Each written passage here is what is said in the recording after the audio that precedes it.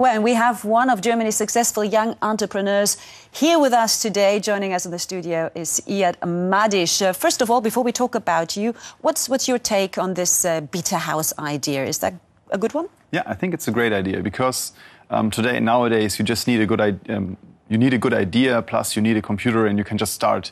And the Betahaus gives you another thing, which is very important, that you have people around you um, with different skill sets, which then you know help you in making your idea successful. Okay. Well, you had a pretty successful idea. I mean, I, am allowed to say you're 31 years young. You studied medicine at Harvard University in the US. I think four years ago, with a couple of friends, uh, you set up ResearchGate, which is a kind of Facebook for scientists, which really took off like a rocket. Mm. I think you've got 1.5 million uh, active members hmm. already mm. and investors from Silicon Valley. That sounds very, very doesn't doesn't sound like a startup company mm. anymore. Let yeah. me put it this way. And I think we also have some footage seeing you at work.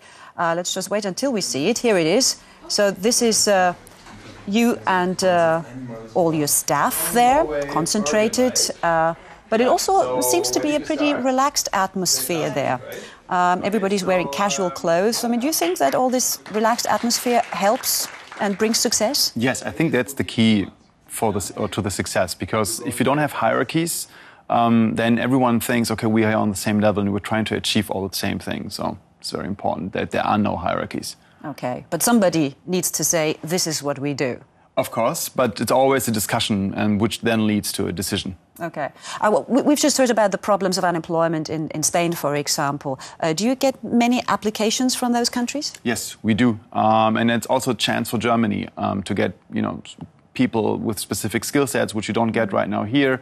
Um, this is a, for us as well, very good situation. Okay. What about the language barrier?